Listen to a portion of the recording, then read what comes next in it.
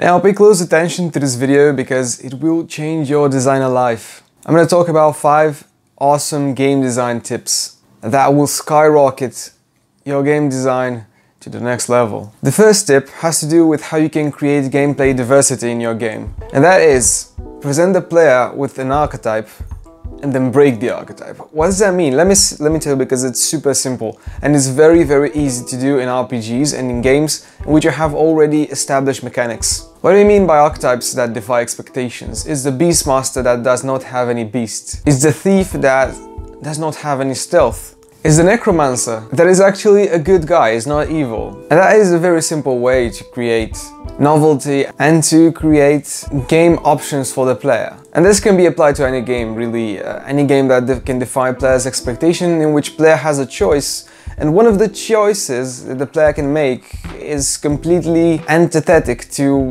the other choices, to what the player should actually be doing. Keep that in mind because it's a gold mine of game design and game ideas. That's how you come up with real cool character ideas, story ideas for the game. And I challenge you to leave a comment in the comment section below describing an archetype which can defy expectations. Give me an example, give the other people an example, what you think is cool, what you think can defy players' expectations, put a twist on it. A second tip in this video is to keep the RNG for the player and not for the enemies. What that means is that the enemies in a game should be fairly predictable. They should have a fairly predictable move set and they should do fairly predictable damage. But that way the player knows when to engage an enemy, when not to engage an enemy. On the other hand, you can definitely keep RNG for the player. You can definitely give the player critical strikes random procs on weapons. Why that is, is because when the enemies are predictable but the player is not predictable, the player can actually make sense of that and predict what could happen in the future. And the most important thing is that it creates gameplay diversity for the player. It creates some moments in which the player has really cool crits, really cool effects. On the other hand, it's never cool when you're fighting an enemy and it's super close, but you get critical strike and then you get critical strike again. Unless you're playing Darkest Dungeon. But yeah, summarize this up, keep the RNG for the player, try to give the enemies as little RNG as possible. I played a game, I played a game on my phone recently, which was based around making choices on which enemies to fight. Problem was, enemies had a lot of RNG on their attacks. It made the game quite uh, nasty to play because the game is based around choices, but you couldn't really make the choices like you can expect an enemy to kill you in two hits or in five hits. Anyway, on to my third game design tip on this list. If you want the player to play a certain way, don't punish the player but to reward them for playing that certain way. What does it mean? I recently saw a GDC talk exactly on this and gave some examples from actual games. In World of Warcraft, the devs didn't want the players to play the game for too long. So at first they thought about punishing the player for playing the game for too long by reducing the amount of experience the character gains. The longer they play on the same character without stopping, the, the slower they progress.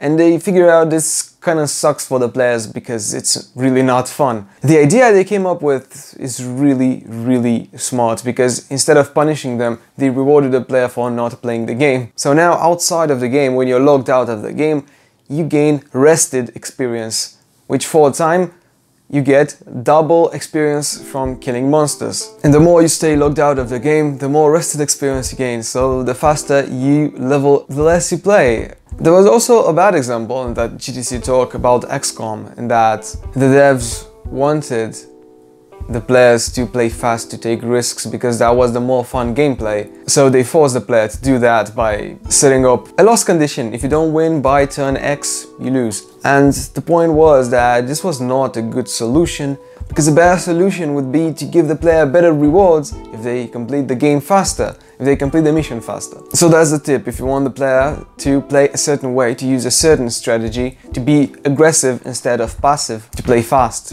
instead of slow reward them for doing this. Usually the simplest way is to, if your game has levels, increase, uh, give them some rewards for the level. Thief, a game I recently played, did this. On every mission you gain bonus gold when you complete the mission if you remain undetected. They want you to play as a thief. They reward you for playing as a thief. Quick note, if you're enjoying this video, do consider hitting the like button because it really helps me a lot. And If you like game design tips, my channel is full of game design tips. Check them out. Number four is coming up right now is that scarcity makes player want that thing. So take a game in which you have lots of gold. Whenever you loot something, you get gold. Everywhere, everything rewards you with gold. Now, even if you can buy stuff with gold, when you open a chest in this game and you get gold, it's not exactly gonna feel that good, right? I mean, yeah, sure, it's a reward, it's good, I can buy stuff, but is it really exciting when you get gold? Mm, not really. And that's why legendary and rare items in games are exciting to get. It's not necessarily for the player power, for the power that gives you the character, but because they're rare. That's the whole point. See now World of Warcraft, nowadays every item is an epic item. In late game, whenever you get an item, you know, it's just gonna be an epic, a rare item. A rare item. And I've seen lots of players also complain about this, that rare items are not rare anymore. Everyone has them. So even if they're really strong, honestly, they're not that rewarding. On the other hand, if you reward the player with something rare, something they can only get once in a while, no matter what that is, the player is gonna like it. Now this transitions very beautifully into my number 50. This is the most important tip I have on this list. You ready to hear it? Here goes. Rewards for the player can be any type of content in the game. Often when game designers think of rewarding the player, they tend to reward the player with in-game currency, scores, achievements, cosmetic items. And so many game designers fail to figure out that that's not the only reward in the game. In fact, the player is not even playing for those things. The player is playing for the game content. Rewarding the player with extra content is the best reward you can give a player unlocking a new zone for the player is the best reward. When a player finds a puzzle, the puzzle itself is the reward.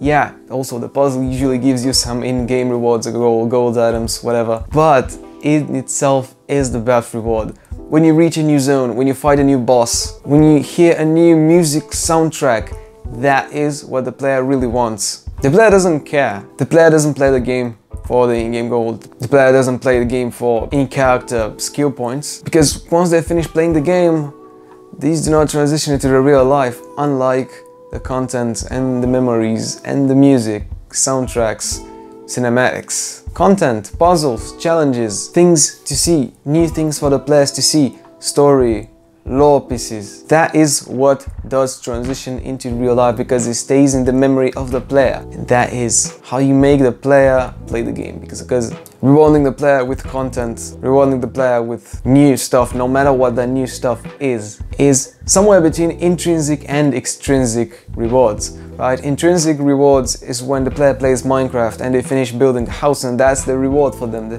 the fact that they finish building their awesome dream house. An extrinsic reward is when the game rewards the player with actual stuff, experience, gold, items.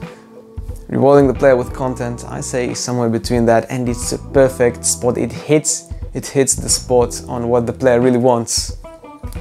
That is why this is very important. Please do remember that the game, more of the game, is actually what the player wants. If the player is engaged in the game, you can give them gold, you can give them in-game items, but it's never gonna be as impactful as giving them more of the game. That being said, if you're liking this video, if you're liking my channel, do consider subscribing, it helps me a lot. And do you watch some of my other game design videos, I've got tons on this channel. If you wanna talk, let's talk on Twitter, Facebook, or in the comment section. Until next time, have a nice development journey, friends.